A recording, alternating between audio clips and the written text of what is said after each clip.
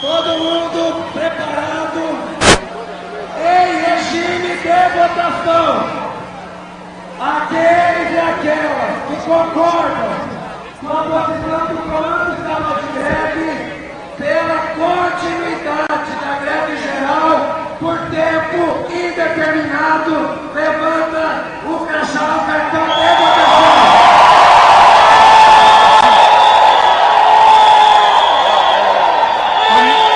Toninho. É, só vai segura que tem um quadro legal aqui, ó. Corta pro Cauê.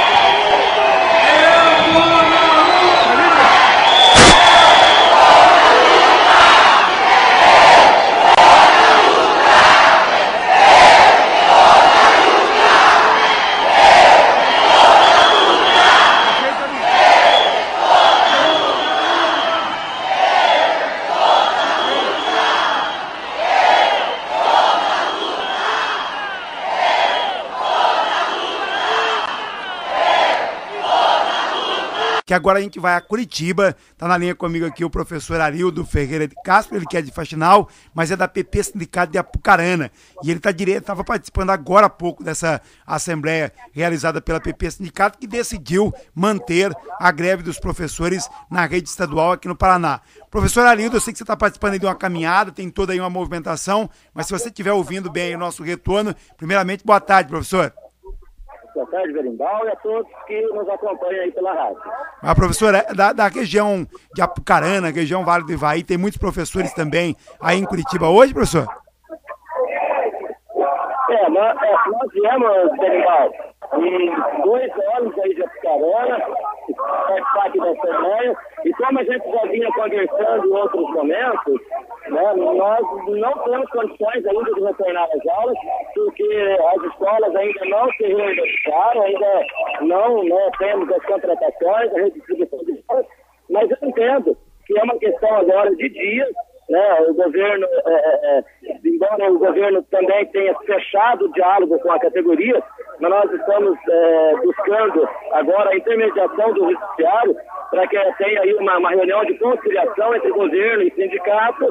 Eu entendo que né, as negociações avançam e espero que né, dentro dos próximos dias a gente consiga retornar às aulas.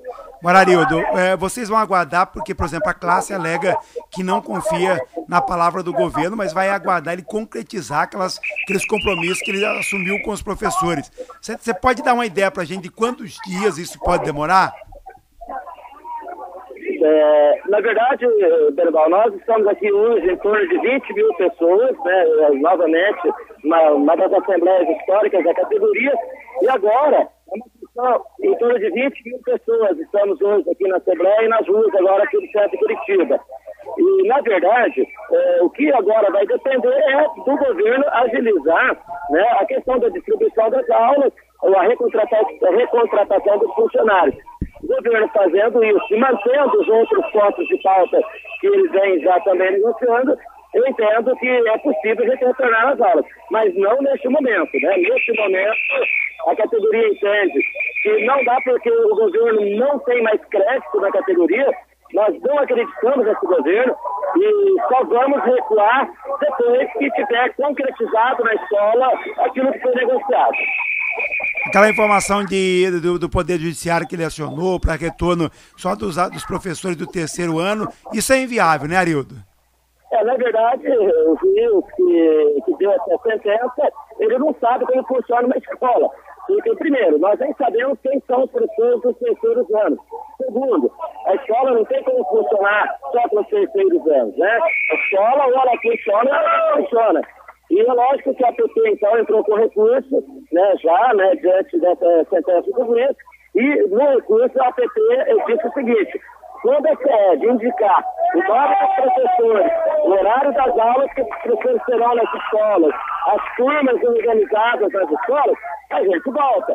Agora, quem são os professores? E qual horário eles vão dar aula?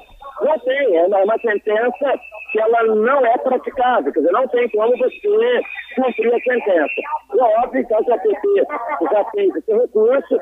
Hoje, nós sabemos que há uma possibilidade de uma nova sentença, né, de uma reformulação dessa sentença, e nós estamos já é, antevendo né, que uma nova sentença está pedindo a conciliação, ou seja, que o Poder Judiciário convoque o governo e o sindicato para sentarem e juntos é, resolver esses impasses que nós estamos tendo o mais breve possível.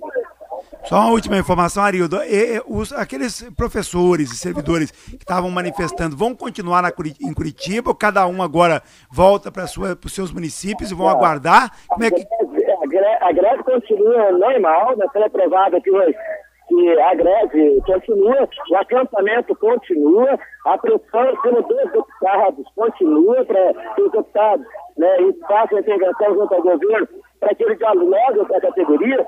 O que aconteceu? O governo fez a proposta e agora disse que não, que não tem mais nada para oferecer para a categoria. Ou seja, cortou o diálogo. Então agora nós estamos pedindo ajuda do judiciário para voltar ao diálogo, estamos pedindo ajuda dos deputados para também, inclusive, junto ao governo, nós queremos continuar dialogando com esse governo, mas que ele cumpra aquilo que ele né, vem colocando na mesa de negociação. Arido, queria agradecer sua participação ao vivo aí direto de Curitiba. Se você tiver mais alguma observação, mais algum recado para a região aí, fica à disposição. Eu só quero né, esclarecer aos pais, aos alunos que estão acompanhando esse programa, que a greve continua, nós retornaremos quando as escolas estiverem em condições de receber os alunos e que é para evitar de ouvir muitas vezes a mídia comprada pelo governo. O governo ele usa algumas redes de televisão, alguns jornais, até mesmo algumas emissoras de rádio, para mentir para o povo. Então, se você pai e você aluno, acompanhe a página da APT, acompanhe aquilo que a APT está divulgando, porque aí tem a informação correta né, do retorno ou não das aulas e quando vai ser esse retorno. Obrigado mais uma vez pela sua participação aqui, tá bom, Arildo?